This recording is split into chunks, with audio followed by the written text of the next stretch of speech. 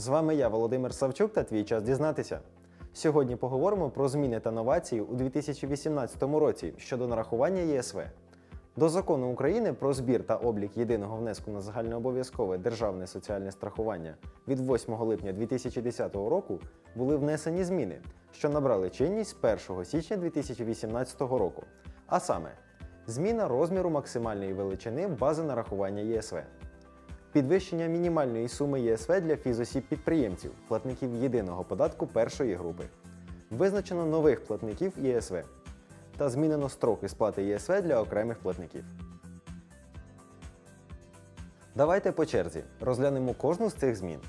Починаючи з 1 січня 2018 року змінився розмір максимальної бази нарахування ЄСВ. Через те, що максимальна сума місячного доходу, на яку нараховуватимуть ЄСВ, дорівнюватиме 15 розмірам мінімальної заробітної плати. Тобто вона не залежить від прожиткового мінімуму для працездатних осіб, як це було у 2017 році. Для фізичних осіб-підприємців, що є платниками єдиного податку першої групи, з 1 січня 2018 року удвічі збільшується мінімальна сума ЄСВ, тобто вона тепер дорівнюватиме мінімальному страховому внеску, як і для інших. Коло платників ЄСВ із 2018 року поповнили члени фермерського господарства, що не належать до осіб, які підлягають страхуванню на інших підставах. Тобто, якщо за таких осіб уже сплачено ЄСВ, їх не вважатимуть платниками ЄСВ. ЄСВ нараховується на суму доходу, отриманого від його діяльності, яку оподатковують ПДФО. Сума внеску за місяць не може бути меншою за розмір мінімального страхового внеску, в тому числі, якщо за відповідний місяць або квартал не отримано доходу. Член фермерського господарства нараховує ЄСВ за календарний квартал, тобто вперше за перший квартал 2018 року, та сплачує його до 20 числа місяця, що настає за кварталом, тобто за перший квартал 2018 року до 20 квітня 2018 року.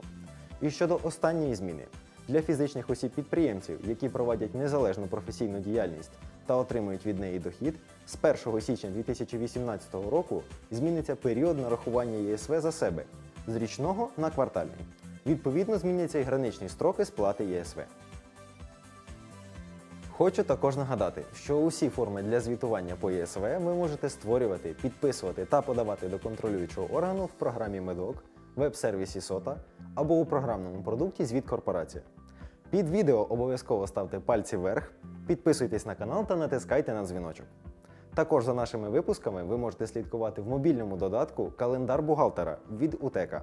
Посилання на завантаження додатку в описі під відео. На все добре та до нових зустрічей!